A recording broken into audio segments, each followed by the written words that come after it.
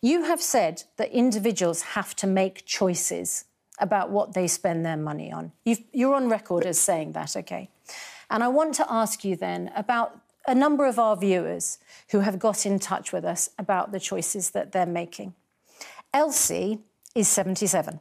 She's a widow and she's a pensioner who lives in a council house. She receives a pension of £170 a week. Her energy bills have gone, get this, from £17 a month to £85 a month. Yeah.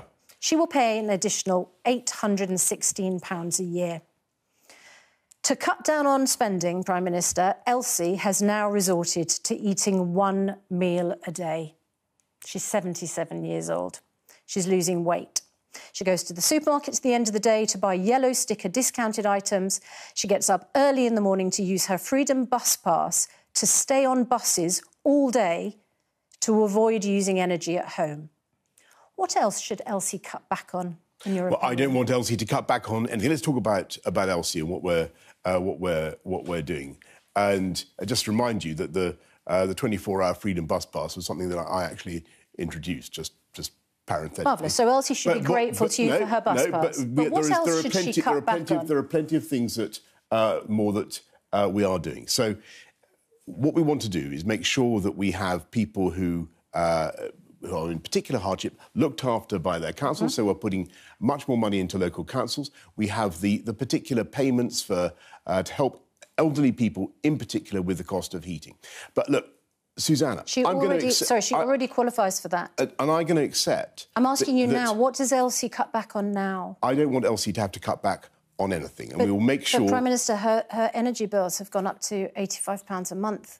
And the, the the best answer is to help her with abate the cost of energy as we are, but also what, through a to, loan that she to, has to pay to back. Make, to make sure there's a there's a direct cut in her council tax as a, as a result of what we're doing, uh, plus the she doesn't uh, the qualify home, for the council the tax rebate allowance, as her home plus comes the winter under fuel allowance. There are there are measures that we put in place to help people, but I'm not going to pretend you to you, can't say anything to I'm help not going to pretend to, to no, because what we are doing is making sure that we take the steps now uh, to invest in our energy supply. You get back to your point about the energy companies uh, to ensure that we have the supply for the medium and the long term. So, sorry, I'm Elsie so sorry, and people Elsie. like the Elsie medium and and long like term Elsie, doesn't help Elsie. Of, the point is, the Prime pressures, Minister, you'll understand the point is in, in, a, in an interview of limited time. Please. When we are two days out from elections, the biggest issue for people is not Ukraine. The biggest issue for people right now is how they can possibly sure. afford to pay their bills. Um, and they wonder are you in touch with what they're experiencing? Food prices are rising, going to be the biggest in a decade. Energy bills are rising, and they're going to rise again in October. Petrol costs yeah. are rising. taxes rising. Food bank use is rising. The number of people in poverty is rising. The number of children in poverty is rising. This is on your watch, Prime Minister. And we're doing everything we can to help with the uh, the pressures on family budgets. And uh, I totally understand and, and, and get the, uh, what people are, are, going through. And I, I, it is important, though, to set the, the global context. This is a, a spike in energy prices. You mentioned food, you, uh, cost of chickens is is crazy. a chicken breast. This is all being driven by the cost of the inputs, mainly fuel, uh, and that is being, has been greatly exacerbated by. It's uh, not just a recent in, problem, in is it? You say you're doing everything you can. You're not.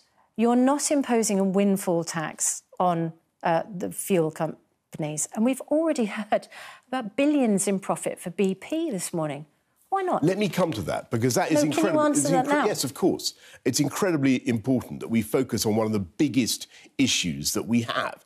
This country is in the insane position of having to take in, pipe in electricity uh, from France uh, and, uh, and elsewhere because we haven't done enough to invest in our own security of energy and electricity okay, supply. let so the energy we, companies so we, invest. They need to and invest. At the same time, and so so I don't. Why don't you impose a windfall tax on the profits, just one off, because the, in order because, to help people right now? Because it doesn't affect, doing, doesn't help people right now who are paying their energy bills, but which Susanna, have gone up hundreds. right. To you, be told we need to leave that money to the energy companies because no, they need to invest. No, they do need to That's invest. That's their job.